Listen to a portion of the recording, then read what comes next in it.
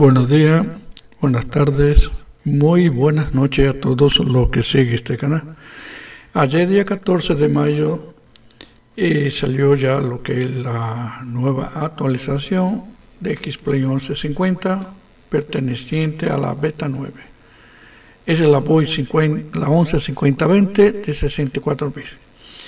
Bien, eh, vamos a a ver qué es lo que se plantea en esta nueva actualización.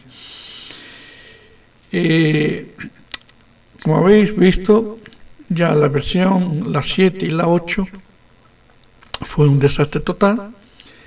Eh, una se tuvo que parar lo que es la actualización y la 8 fue quitada del medio automáticamente. Y para resolver los problemas que estaba surgiendo, lo que se, se estaba haciendo de, un tiempo para acá es sobre la, las modificaciones mediante desarrolladores externos. Mientras ellos están haciendo un trabajo nuevo, eh, ha entrado lo que son nuevos desarrolladores eh, para ir haciendo lo que es la, actualización sobre Vulkan y los problemas que ha ido surgiendo. Entonces se ha, hecho dos equipos, una haciendo los nuevos desarrollos que están previstos para X-Plane y la terminación de la serie X-Plane 11. Bien, eh, a partir de ahora hay dos equipos y cada uno va a tratar de, hacer lo que es las pruebas eh, privadas y luego se harán las públicas. Para esto vamos a entrar dentro del simulador para ver qué diferencia ha tenido sobre aquí estamos. Como podéis ver la, lo que es la gráfica bastante buena no tiene nada que ver con eh, lo que es Microsoft.